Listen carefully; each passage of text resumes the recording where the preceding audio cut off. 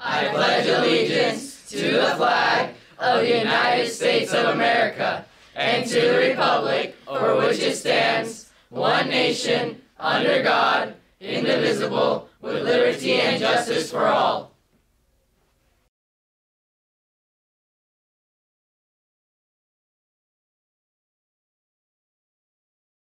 Thank you.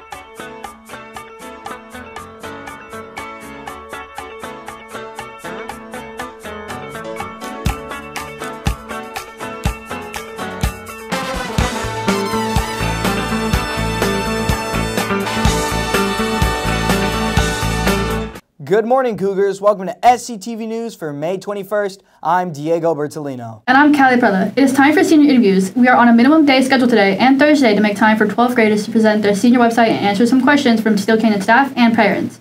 Seniors, make sure you double check your room number and time and be prepared for your interview. Cougar artists collected dozens of awards at the Grossmont District Student Art Show. After the judges evaluated all the different pieces, they acknowledged Cougar's work with 30 different awards. There's an artist celebration at the show this evening at the Lakeside Library. The event begins at 5 p.m., but if you can't make it today, you can see through Saturday to see all the amazing work from around the district, as well as the awarded pieces from Steele Canyon. The Steele Canyon Library Book Fair is only a few days away now. The SHS Library is hosting the sale from noon until 4 p.m. this Friday. There will be a variety of titles from different genres available for purchase. In addition, 20% of all sales will go back to our library to purchase new books and materials for the next school year. So make plans to check out the selection this Friday afternoon.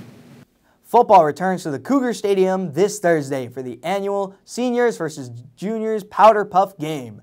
The gates will open at 6 p.m. and the game will start at 6.30. Tickets are just $5 online on the GoFan website. They will also be $10 at the gate. You must bring your student ID card to enter the game. Also, the class of 26 and 27 will be selling concessions, so bring your money and root for the Cougars, juniors, and seniors. You can help save life this week. Our very own Red Cross Club is hosting a blood drive at Steele this Friday. Students who are at least 17 years old can donate. You can reserve a time through our ASB website. Not only will you be helping your community, but donors will receive a $5 Starbucks card. Our Cougar softball team is into the finals of the CIF 1 Division Championship.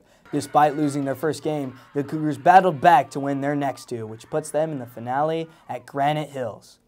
The Cougars will have to win two in a row against the Eagles to claim the title, but the first game is today at 3.30. This will be a ticketed event, and you can purchase yours through the GoFan website.